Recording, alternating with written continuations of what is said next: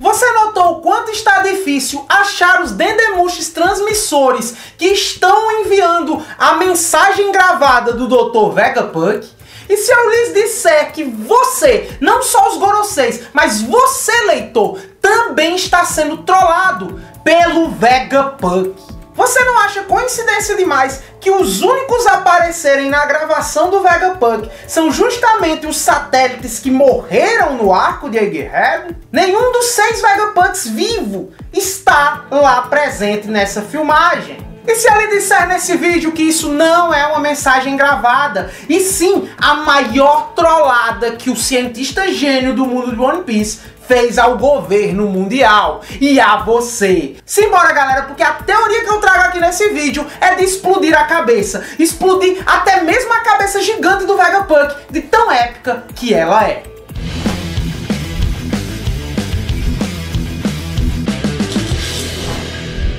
Olá, galera, sou o Tassiano, seja bem-vindo ao canal. E meus amigos, meus amigos, a, teoria lá do fruto dentro do bando do Shanks fez até tanto sucesso que eu tive que vir correndo e trazer essa que pode se concretizar a qualquer momento no arco, arco do Vegapunk.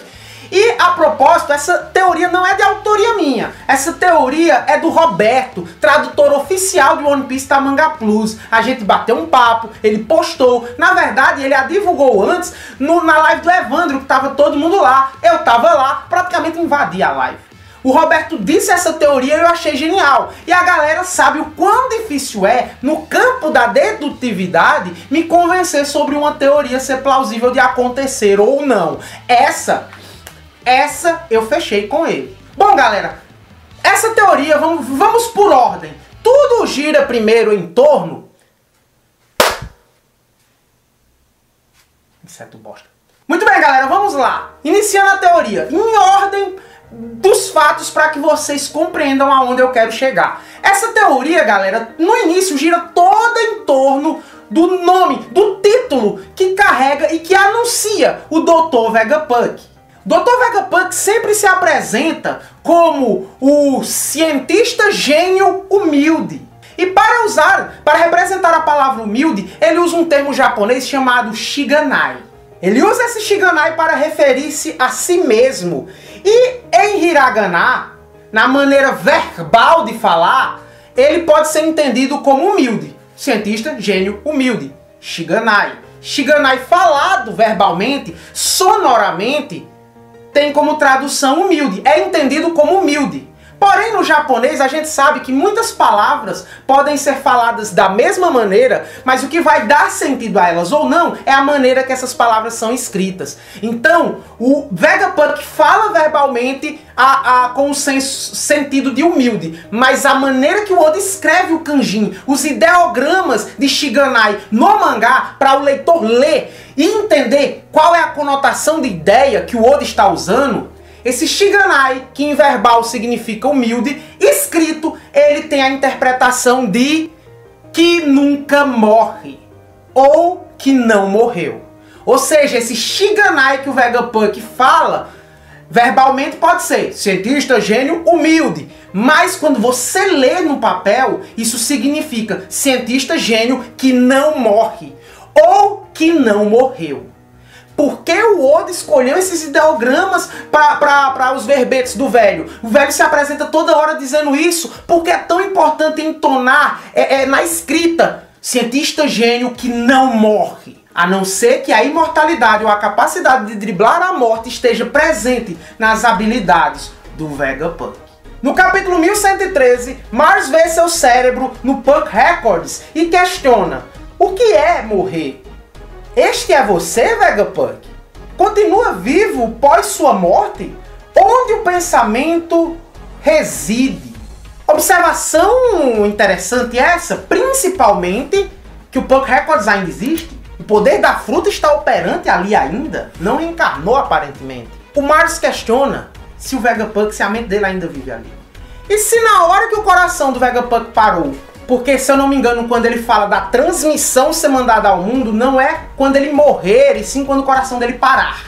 E se quando o coração dele parou e a mensagem começou, na verdade o Vegapunk não morreu. O Vegapunk foi transferido para o Punk Records. O Vegapunk voltou para o seu grande cabeção e automaticamente começou a, entre aspas, gravação, que não é gravação coisa nenhuma, galera. O ponto alto dessa teoria e explicar o porquê ninguém tá achando os dedemushos transmissores, dedemushos transmissores transmitem é, é, esse vídeo, essa mensagem gravada para o mundo, mas não estão achando, estão destruindo os dedemushos tudo, mas não estão achando esse dedemush que estão transmitindo as mensagens, porque eu acho que não é dedemush que está transmitindo nada. O Vegapunk ainda está vivo no seu cérebro, no Punk Record.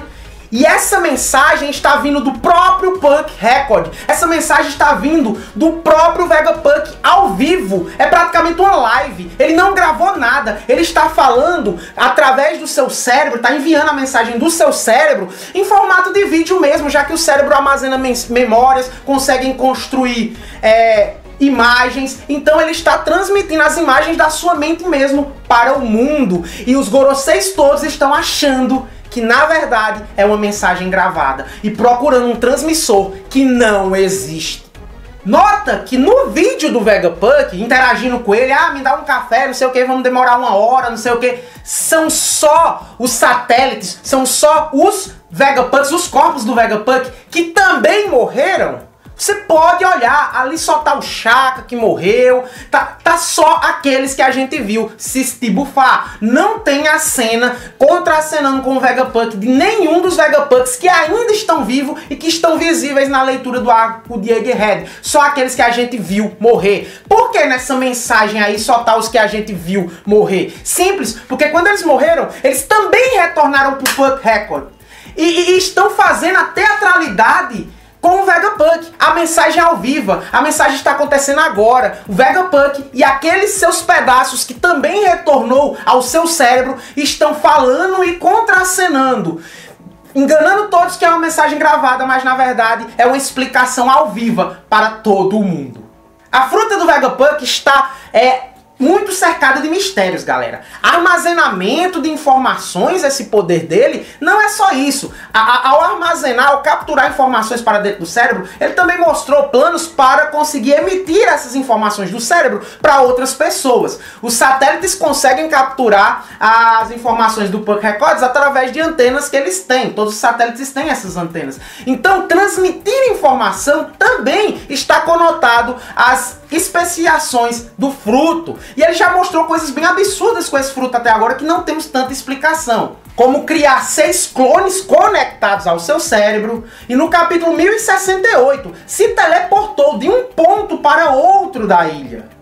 Se ele pode retransmitir o corpo físico dele de um lugar da ilha para outro lugar da ilha, como aconteceu nesse capítulo interagindo com o Luffy, informação, dados é muito mais leve do que matéria, do que massa. Então, se o Vegapunk consegue se transmitir de um ponto para outro na, na ilha, ele pode transmitir suas mensagens, ele pode transmitir seus sonhares, seus fascínios para várias antenas ao redor do mundo, para vários capturadores ao redor do mundo que irão transformar isso em imagem nos telões.